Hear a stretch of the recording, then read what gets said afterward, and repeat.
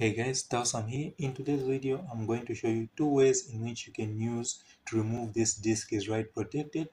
And if the disk is in this state, you discover that you cannot put anything in it and you can also not create any files in it. So for example, if I go to that drive and right click in here, as you can see, there's no create new file or anything, meaning I cannot add anything. This drive is protected. So the first method that you can use to recover this drive is on your side of the either the SD card, for example, this usually happens with the SD card. SD cards have a switch that turns the drive into read only. So the switch looks like something like this. So if you have that type of drive that has a switch, you just need to switch it off. But if you do not have that, let's jumping into the next part where now you can use CMD to fix this issue. So what you want to do is just open up CMD. So you can just open up CMD to look something like that. Then the first thing that you want to type in is diskpart, like that, diskpart. So once you type in diskpart, you just want to click enter and you'll notice that a new terminal will pop up like that. So on this new terminal, what you want to type in is list disk.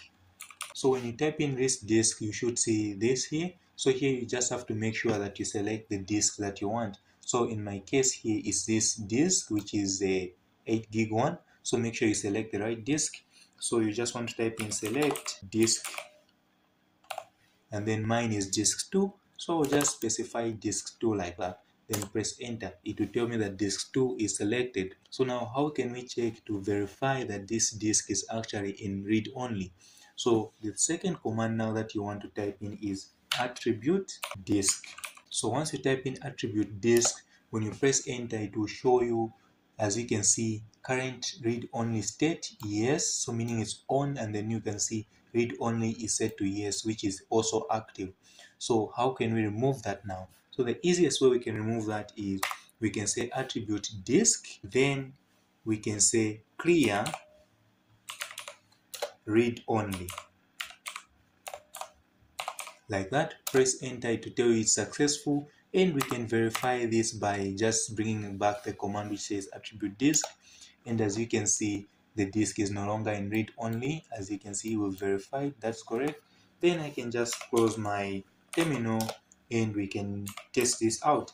So now if we try to go to the drive since I do not want to format it but if we go to that drive now like that. If I right click as you can see I now have create new. I can now create any type of document that I want in there. So if you like the video please leave a like subscribe to my channel. It really helps me out a lot. See you in the next video